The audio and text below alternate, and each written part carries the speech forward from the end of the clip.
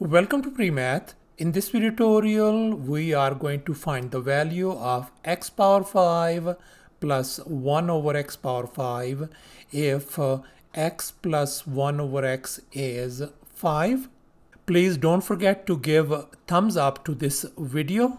Let's go ahead and get started with the solution and here's the very first thing we are going to do. Let's focus on this 1 over x power 5 and here I have copied down 1 over x power 5 and on the numerator 1 could be written as 1 power 5. So we can write this one as 1 over x and then a whole power 5. So therefore 1 over x power 5 could be written as 1 over x power 5 and likewise 1 over x power 3 could be written as 1 over x power 3 and same for 1 over x square. And now here's our very first step. Let's recall this well-known formula a plus b square equals to a square plus 2ab plus b square. Let me go ahead and move this 2ab on the left hand side. Then we can write a square plus b square equals to a plus b whole square minus 2ab. And now if I let a equals to x and b equals to 1 over x, then this equation could be written as x square plus 1 over x square equals to x plus 1 over x whole square minus 2 times x times 1 over x.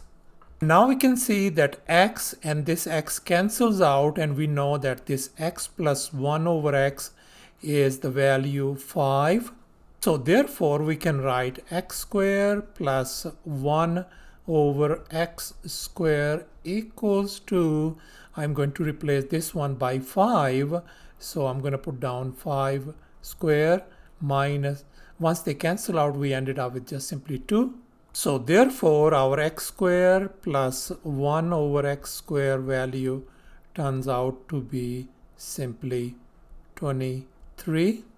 And here's our next step. Let's recall this time this formula a plus b power 3 which is equal to a cube plus 3a square b plus 3 ab square plus b cube. Let's go ahead and put these a cube and b cube together and focus on these two terms. Here we can see we have a 3ab in common. So therefore this could be written as a cube plus b cube plus uh, 3ab we factored out and inside the parentheses we got a plus b. And now let's go ahead and move this 3ab times a plus b on the other side. And now let's assume that a is x and b is 1 over x.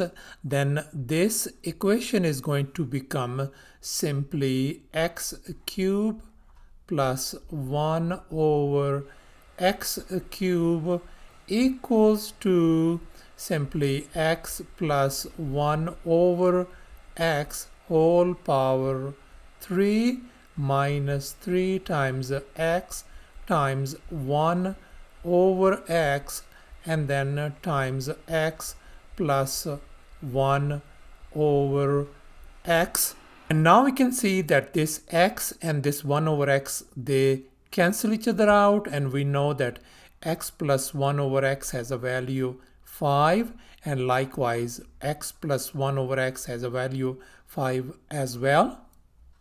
So thus our x cube plus 1 over x cube could be written as uh, this simply become 5 power 3 minus 3 times 5.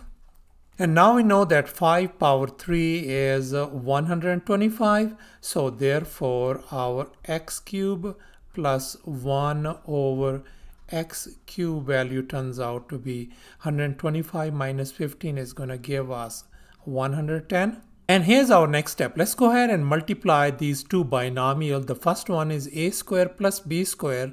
The other one is a cube plus b cube.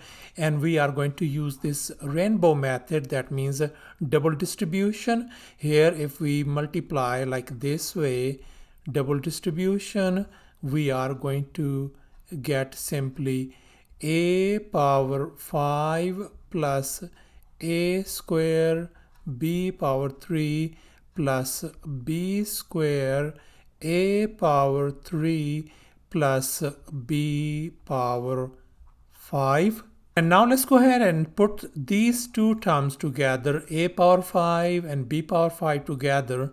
And look at these two terms, we can see that a square, b square is in common.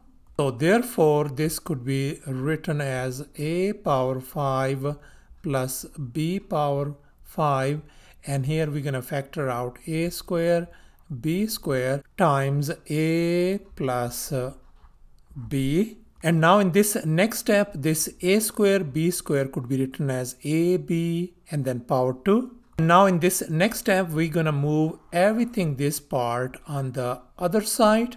So therefore we can write a power 5 plus b power 5 equal to a square plus b square times a cube plus b cube and then minus a b whole square times a plus b. And now let's assume that a equals to x and b equals to 1 over x.